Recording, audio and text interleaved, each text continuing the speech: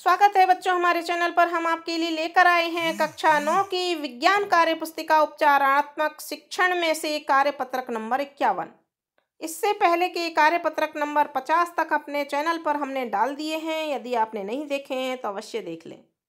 इस कार्य पत्रक में विषय वस्तु दी हुई है गति, अधिगम बिंदु दूरी और संदर्भ है कक्षा छः का अध्याय दस और कक्षा सात का अध्याय तेरह।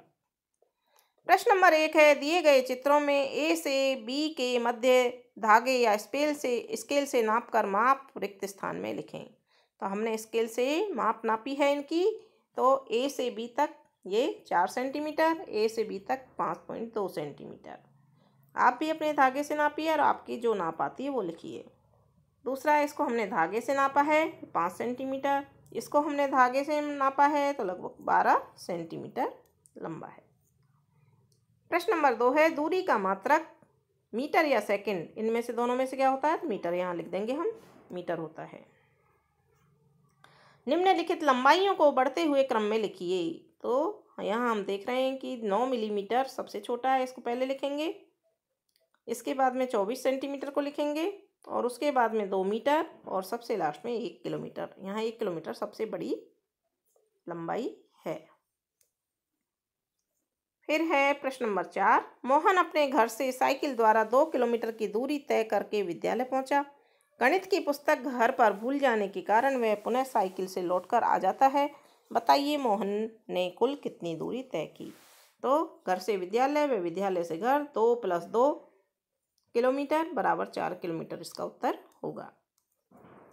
प्रश्न नंबर पाँच है, सीता के हाथ में एक मीटर लंबाई का धागा है। इस धागे से वह पुस्तक, टेबल की सतह का परिमाप जो कि परिमाप होता है, सतह के चारों की लंबाई तथा अपने सहपाठी की लंबाई का मापन करती है। बताइए, उक्त तीनों की लंबाई में से सर्वाधिक किसकी है? तो उन तीनों में से जो टेबल का परिमाप है, वो सबसे ज़्यादा आएगा। प्रश्न नंबर छः है, कोई व्यक्ति किसी स्थान से चलकर उसी स्थान पर वापस लौट आता है तो उसने शून्य दूरी तय की। उक्त कथन सत्य है अथवा असत्य? तो यह कथन असत्य है, दूरी शून्य नहीं होगी, दूरी तो जितनी उसने पार की है, जितना चला है, उतनी दूरी नाप यहाँ लिखी जाएगी, लेकिन जो विस्थापन होता है, वो शून्य होता है। प्रश्न नंबर सात है एक व्यक्ति सात मीटर त्रिज्या के वृत्ताकार पथ पर दो चक्कर लगाता है तो व्यक्ति ने दो चक्कर में कुल दूरी तय की, जहाँ परिधि बराबर टू पाई आर और पाई बराबर है बाईस बटे सात। तो इनमें से कौन सा उत्तर सही होगा? हमें यहाँ हल करना है। टू पाई आर में हमने पाई की जगह बाईस बटे सात लिख लिया है और आर की जगह सात लिख लिया है। यहाँ त्रिज्या दे रखी है और दो बार उसने चक्कर लगाए तो हम इसको दो से गुणा कर देंगे। सात से सात कर दिया।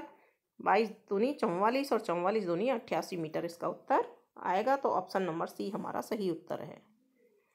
एक व्यक्ति ए बी सी डी पथ तय करता है। वास्तव में तय की गई दूरी, सभी लंबाइयों का योग होता है तो तय की गई दूरी ज्ञात कीजिए।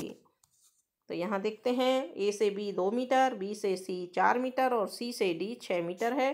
तीनों को हम जोड़ देंगे। छः और चार दस और दो बारह तो कुल तय दूरी आ जाएगी बारह मीटर। तो इस तरह से बच्चों, यह हमारा कक्षा नौ का विज्ञान का कार्यपत्रक नंबर इक्यावन कंप्लीट होता है। आगे के कार्यपत्रक और आकलन पत्रक देखने के लिए जुड़े रहिए हमारे चैनल से। धन्यवाद।